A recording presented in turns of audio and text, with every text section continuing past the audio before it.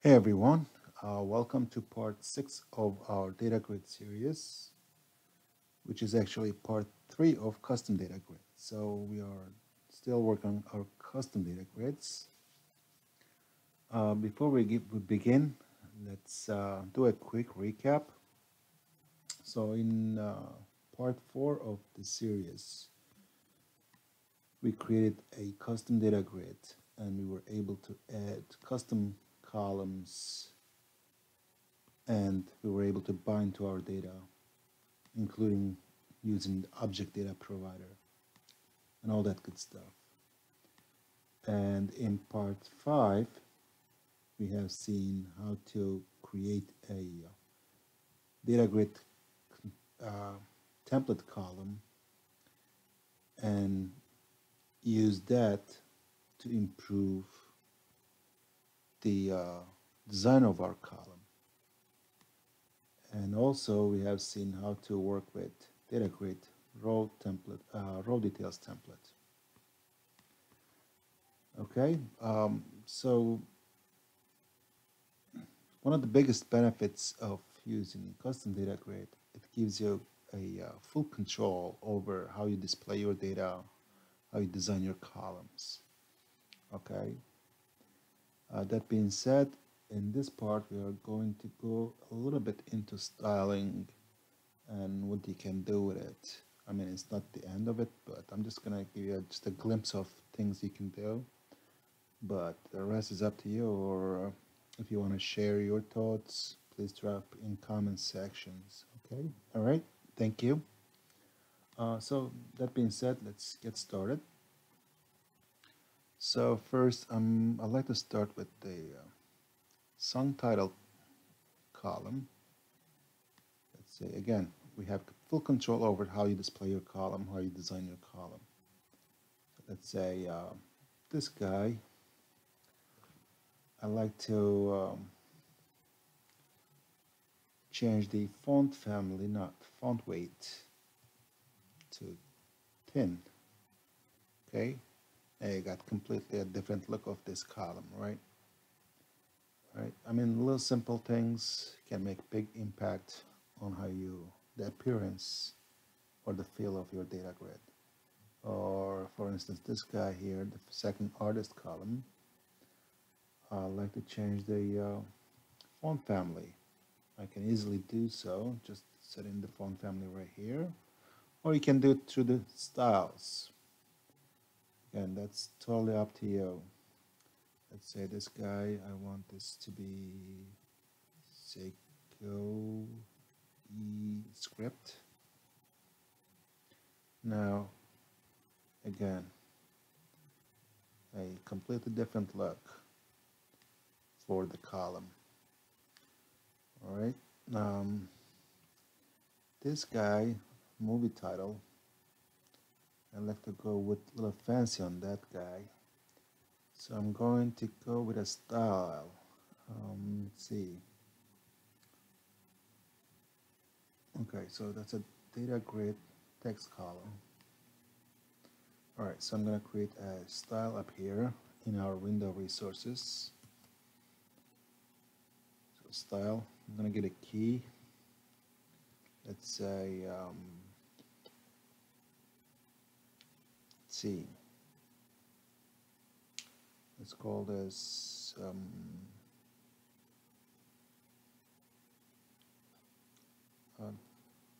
title style. Okay, our target type is going to be data grid cell. Okay, so in here, first I want to set the, let's say, property foreground oops foreground to let's say red. Okay that didn't do nothing because we didn't call onto our style right? We gave the key that means we have to reference it. So I'm to go in here going to say style, cell style. actually. And that'll be static resource title style. So now we got red color foreground. But I'm gonna actually add a trigger to it. So style triggers. This is going to be data trigger. So the idea is if the value is of sound is soundtrack property. When it's true, I like this foreground to be green. So it's going to be binding binding to is soundtrack.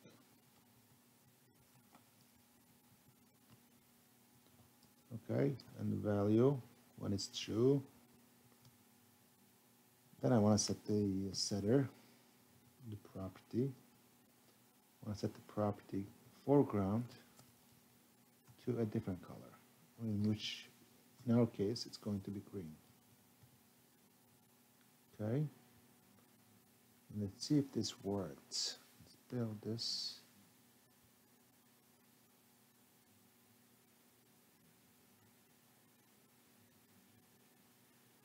It didn't work. Let's find out why.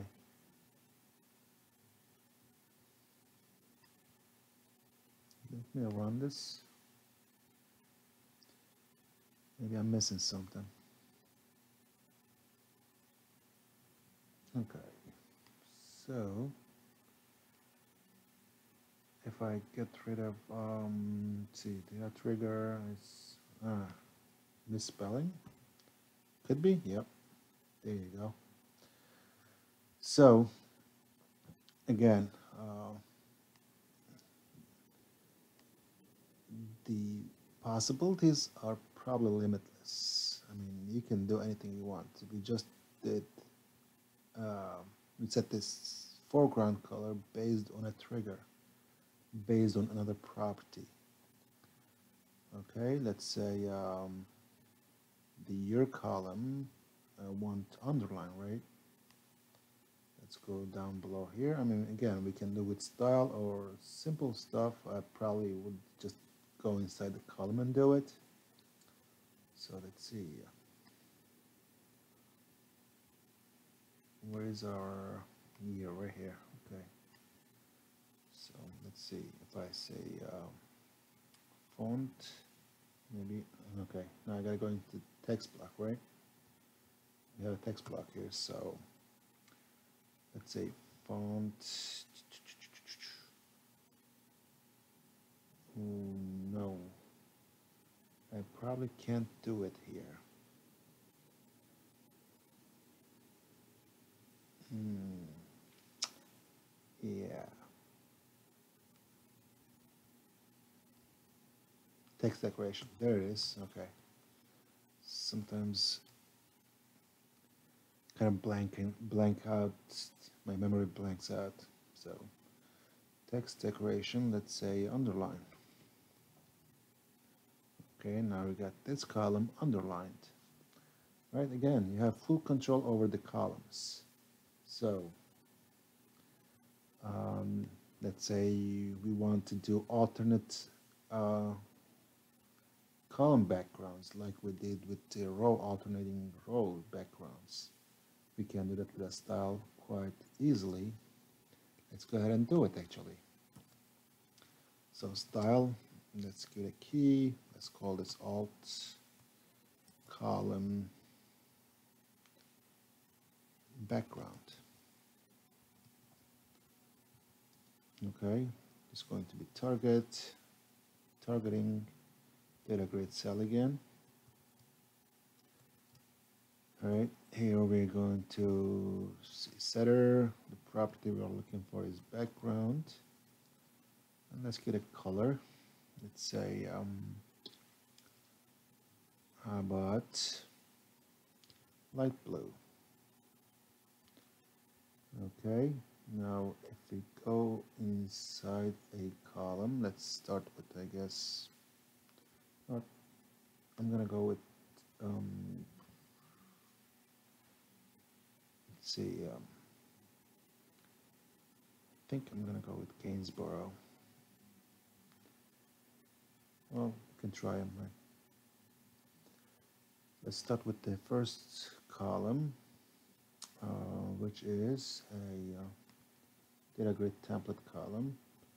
So to set the style, we're, we're just going to need that uh, cell style property, and we're going to set this to static resource data grid um, alt background alt column background so which is the key over here okay so we reference the key inside static resources of our cell style all right so we got that. Now we can uh, copy and paste this to alternating columns. Let's go column number three which is artist right here. And now we got that covered let's keep going. Column number five. I guess you can call it odd columns as well which is movie title. Our movie title already has a style so I'm gonna leave it alone. Let's go to genre